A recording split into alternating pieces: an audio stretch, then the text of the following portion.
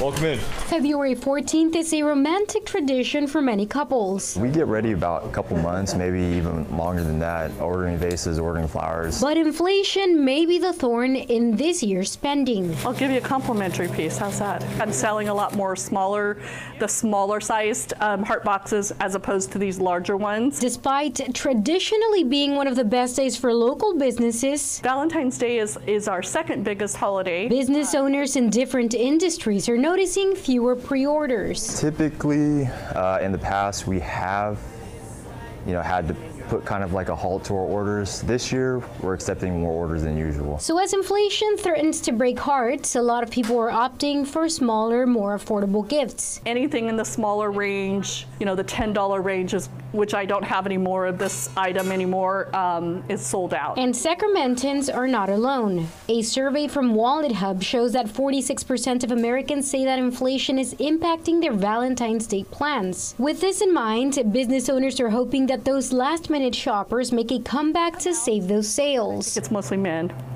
They're always at the last minute grabbing something. So um, I think we're going to do well tomorrow. And maybe once again help some sell out of their product. There's a lot of last minute orders. Um, and then we do get a lot of walk-ins. So that's why we sold out last year, not because of any pre-orders. In Sacramento, Marisela de la Cruz, KCRA 3 News. All that looks pretty good there. Well, the same survey shows that more people will be spending money on candies and greeting cards. Yeah, some of the smaller items, but heartfelt just the same.